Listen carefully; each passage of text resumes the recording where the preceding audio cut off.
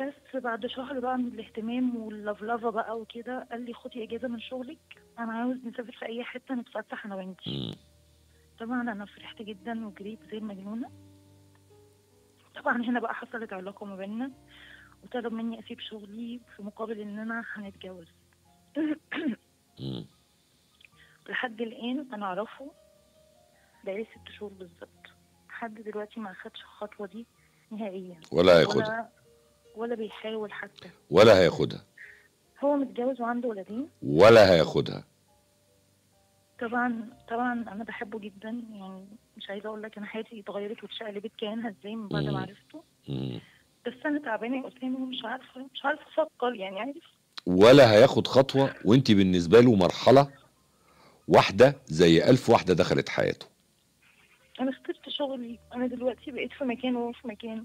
حتى ما نتقابلش ولا بشوفه غير عشان العلاقة دي تحصل ويختفي كتير وبعدين يظهر ويقول لي بص يا بنت. الناس انت سبت شغلك؟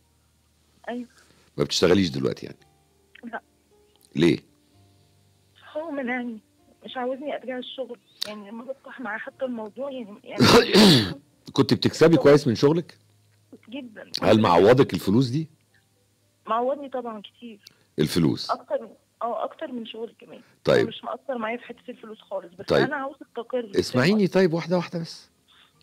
هو معوضك الفلوس علشان يقعدك في البيت ويجي ياخد منك اللي هو عايزه في أي وقت.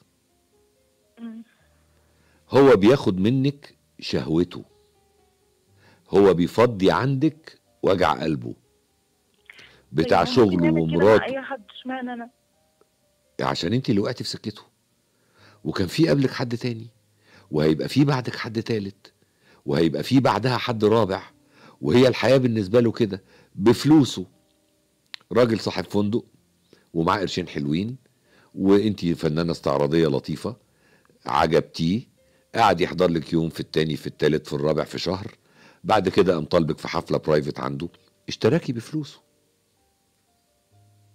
وفي الآخر قال لك تعالي نطلع نسافر نتفسح يومين طلع يتسافر يتفسح يومين وعمل العلاقة وظبط ال system وبقت خلاص اقعدي وهديكي الفلوس اللي انت عايزاها والشقة دي انت قاعدة فيها وأنا هبقى أجي لك خطف كده سرقة زي الأفلام الأبيض وأسود بتاعت زمان. طيب يا أسامة في حاجة دلوقتي هو دلوقتي هو دلوقتي قال لي إن هو بيحبني بجد وعاوز يتجوزني بس في شوية ظروف عنده تعدي تعدي وهيتجوزني. أنا إيه الظروف اللي عنده؟ عارفة بسأله مش بيرد عليا يا أسامة طيب تعالي أقول لك إيه الظروف اللي عنده. النهارده لو هو عايز يتجوزك وفتح لك بيت وبيديكي فلوس الظروف اللي عنده دي قد تكون إيه؟ عليه حكم مثلا وهيتحبس؟ لا إز- ممكن. ما أعرفش أنا مش فاهمة. مفيش يعني بقول له لو فكري. انت موقفة مخك. إيه الظروف اللي عنده؟ مستني يطلق مراته مش هيطلق مراته. مستني إيه؟ طيب طب ما هو كده كده هيتجوزك في السر. انت فكرك إنه ما- هيتجوزك ما في العلن ما اعترضتش على ده. أنا طيب. على ده بس هو ما اخدش حتى الخطوة دي. مش هياخدها. ياخدها ليه؟ ما هو شريكي. يا بنت الناس الراجل شريكي. خلاص. نزل سوق العبيد اشترى عبدة. ما تزعليش مني كلامي جارح بس بيفوق. خدها. قعدها في مكان بتاعته. بيديها فلوس عشان تسكت. وأنا باجي لها وقت ما أنا عايز. طب أنا دلوقتي أنا بقول له ابعد عني وسيبني أشوف طريق حياتي وأرجع تاني لشغلي. مفيش حاجة اسمها. مفيش حاجة اسمها أقول له ابعد مش هيبعد. اللي عايز يبعد يا بنت. الناس. أنا حاولت أختبره يا أسامة وأقول له إن أنا هرجع الشغل هو اتجنن. آه. التجاهل اللي كان فيه ما بقاش موجود بقى كل شوية يتصل زي المجنون طيب قولي له بقى يا تتجوزني يرجع شغلي. وشوفي يعني هيكون رد له- فعله إزاي. أنت عاوز مني إيه؟ أنت أنت اللي سايبني أشوف شغلي وحياتي يا بنت الناس. مديني الحق إن أنا كنت اكون ست محترمة. اسمعي بقى. يعني. اسمعي قطمه ابرك من نحته أيوه. أنا بجيبها لك من الآخر. واخد بالك إزاي؟ أنت كده إن أنت شايفة إن أنت عايشة حياة الست المحترمة؟ لا طبعا. حلو. أنت لما كنت فنانة استعراضية وما بتعمليش علاقات مع حد مش كان أكرم لك؟ طبعا. حلو قوي هو ده اللي أنا بفكر فيه. حلو قوي. من الآخر هتتجوزني ولا أرجع شغلي؟ هتجوزك بس اديني يومين ثلاثة لا مفيش. اديني طب في كلمة. حاجة يا في حاجة. فهو دلوقتي أنا قلت له قلت له قلت له هتتجوزني يرجع شغلي. قال لي لا دي ولا دي أنا عايزك تعيشي عيشة أهلك وتعيشي محترمة. وما تفكريش في الرجوع للطريق الوسخ ده تاني حلو قوي. أنا؟ معاكي أنا معاكي يا بنت بس الناس. ثواني يا أسامة. اختبرته قلت له إن أنا متقدم لي واحد كويس جدا. كنت كان اختبار مش أكتر. مم. أنا في واحد متقدم لي كويس جدا ومحترم. قال لي آه. غلطانه رفضتيه ليه؟ يعني ترفضيه. ترفضي عيشه محترمه عشان خاطر عايزة ترجعي للرأي؟ عارفة ليه؟ عشان لو جالك واحد محترم هو برضه هيفضل على علاقه بيكي. قال لك مش هسيبك ترجعي للحياة الوسخة دي تاني. طب أنا آسف جدا في اللفظ واللي هو عامله معاك. ما أنا ممكن أسيبك ترجعي وأبقى مع العلاقة معاكي عادي. ثانية واحدة. بس أنا مش عايزك تبقي في الطريق ده. ثانية واحدة. هو الراجل اشتراكي انت ملكه. مفيش حد بيفرط في ملكه. النهارده عايز أقول لك حاجة. هل علاقته بيكي أو الحياة بالشكل اللي انت عايشاها دي مش وحشة؟ لا طبعا وحشة جدا. خلاص إذا كان بيقول لك أنا مش عايزك ترجعي الحياة الوحشة وهو معيشك الأوحش. أيوه.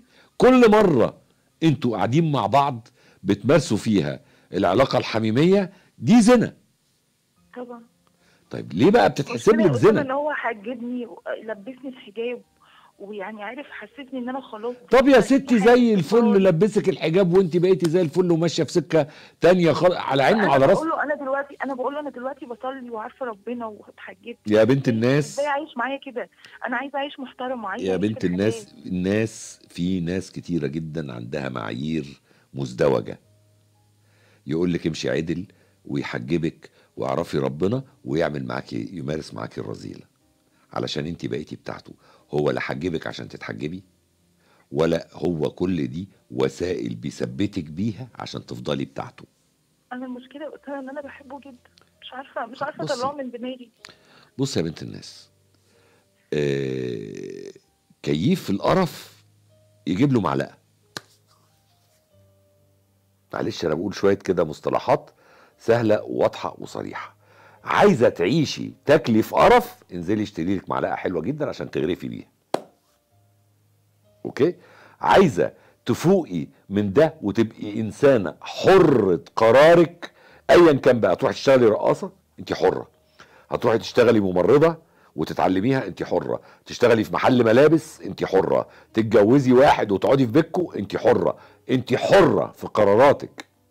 إنما كده ده اسمه رقيق أبيض ده اشتراكي قعدك في بيت. sorry في ال expression sorry تاني هقولها لكل اللي بيشاف- بي- بيسمعونا. دي حالة رق. ما ينفعش تعيشي بالشكل ده. تبقي زوجة آه.